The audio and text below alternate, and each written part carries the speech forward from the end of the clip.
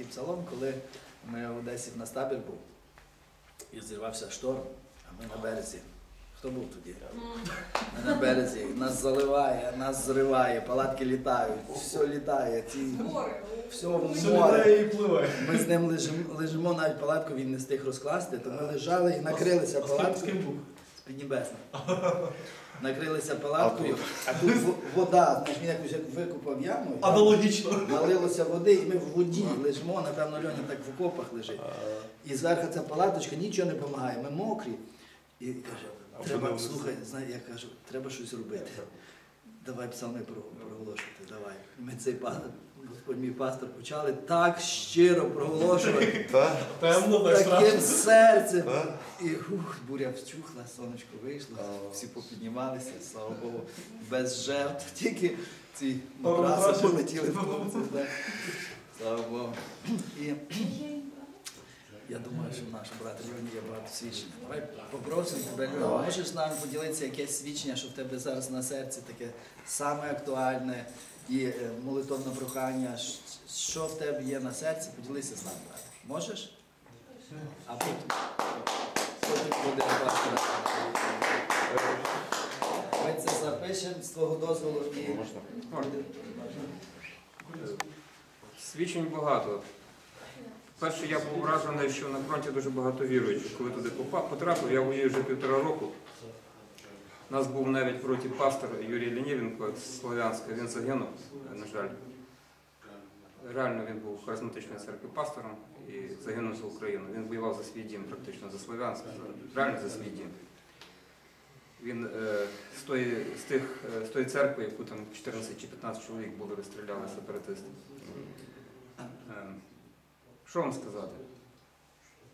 Я воюю вже півтора року, побачив все. Побачив там відірвані руки, ноги. Ну, то страшні речі. Разом з тим, е, скажу чесно, на війну тягне. Мені мама це казала, що це наркотик, може і так. І я почав задумуватися, чому тягне. Може, тому що там дуже все просто. От я приїжджаю додому, у мене купа проблем, там то треба вирішити, то там бігаєш, щось носишся, щось там. А на війні тільки дві проблеми. Перша проблема то вижити, друга проблема то вкрасти повара тушонку. Все. Тебе більше нема там проблем. Е, наскільки... Але потім до мене дійшла одна річ. Знаєте, то недавно так я собі молився і дійшла до мене одна річ. Є така річ, як е, в'єтнамський синдром, потім там афганський синдром, скоро буде Донецький синдром. Це реальні речі, це посттравматичний синдром, це психологічна така річ, коли люди приїжджають з фронту і їм тяжко в суспільстві. Чому такі речі? Їх починають там в дурдоми пхати, їм починають їх там лікувати, психологи до них ходити, починають їх лікувати. І тут до мене дійшла одна річ, то не ми хворі, то суспільство хворе. Тому що ми там живемо е, не тими речами, якими живе суспільство. Суспільство живе такими речами: кар'єра, бабки, там, секс.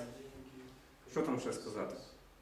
І ми приїжджаємо сюди, а там живуть люди інакшими. Да, там є теж нечисті речі, там є дуже багато е, і мародьорство є, і е, п'янство, і всякі гадості є, там і явно садизм є. Тобто людина, коли потрапляє в таку ситуацію на війні, то все, що в неї поганого, воно вилазить наружу, і все, що є добре, в неї теж наружу вилазить. Воно викристалізовується. Страшно викристалізовується. А коли я вертаюсь додому, я йду по вулиці, я бачу людей, які метушаться, несуться кудись. Я не можу зрозуміти, куди вони несуться. Мені там легше. Реально, що так. Тому що люди живуть якимись такими для мене вже незрозумілими речами. Заробити бабла, піти на дискотеку, там десь там щось, якісь кар'єра, бізнес.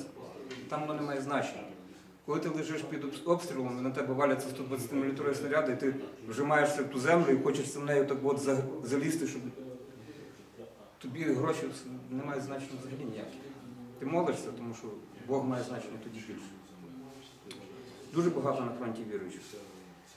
Практично одиниці не вірять. Одиниці є атеїсти. Одиниці з тисяч. Але вірять по-різному. Вірять і в грун і в там, даж Бога, і в чорті що. Але багато християн, дуже багато. Це мене вразило, що дуже багато віруючих людей. Ну, таке свідчення.